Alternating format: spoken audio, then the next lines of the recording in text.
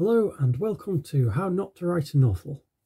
Today I've been doing a very good job of not writing a novel. I've been for an interesting walk, at least. Um, however, I have written more words than I did yesterday.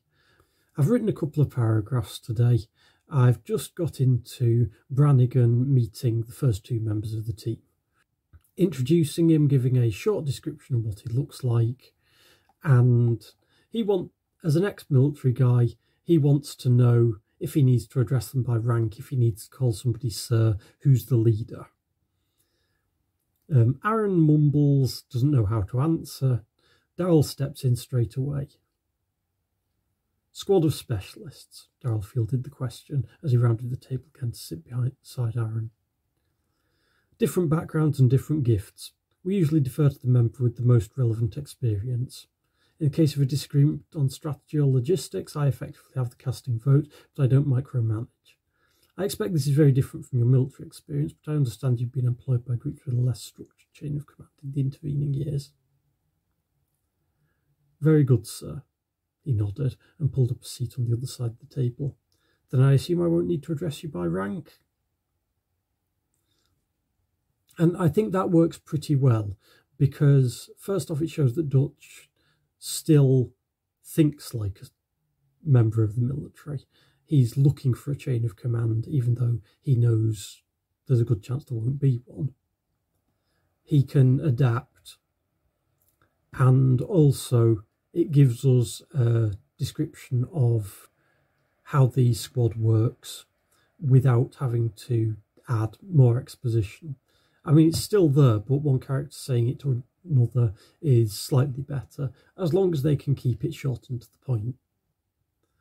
However, at the same time as I was working on that, I've also been thinking about Dutch's first encounter with the Unnaturals, um, which um, I guess is a little off topic because it probably won't be relevant, won't be mentioned. However, I have this idea in my mind and I don't want it to go to waste. So I've quickly written it out. When he was in the military, Dutch came across a group of unnaturals called sandmasters. They're one of the rarer types and they generally only live in the desert. I've put a page about them on the wiki. The idea being that they can do anything with sand.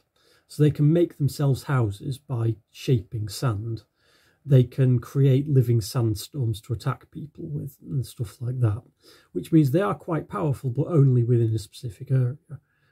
They have to have sand. Um, their weakness is they have no imagination. They can only create things that they've actually seen before, unless there's a human there to imagine it for them.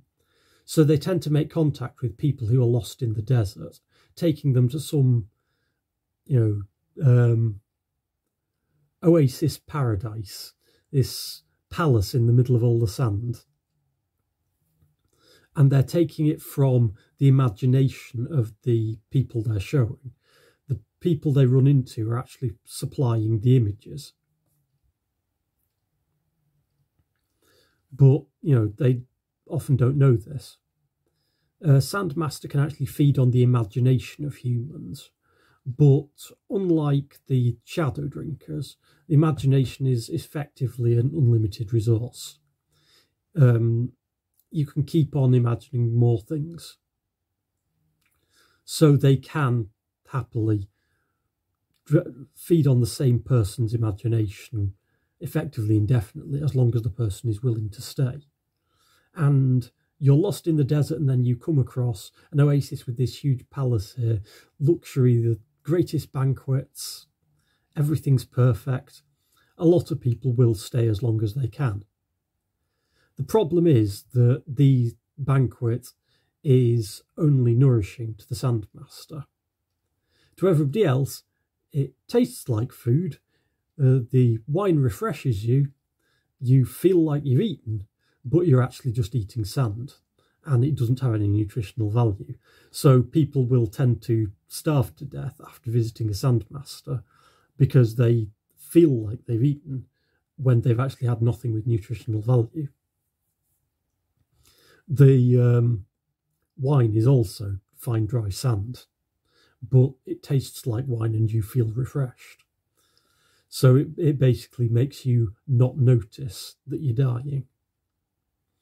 The same would be true if an injured person was rescued by them and had imaginary um, medical care. It would stop your wounds from hurting, but it wouldn't actually make them better. And I think that's an interesting way to do it. They don't actually directly hurt anybody. All they do is provide illusion. It's kind of a trick. But um, anyway, that's about all I've come up with today. Um, I'll try to write late, more later. If you want to have a look at what I've written, then there will be a link down there in the description.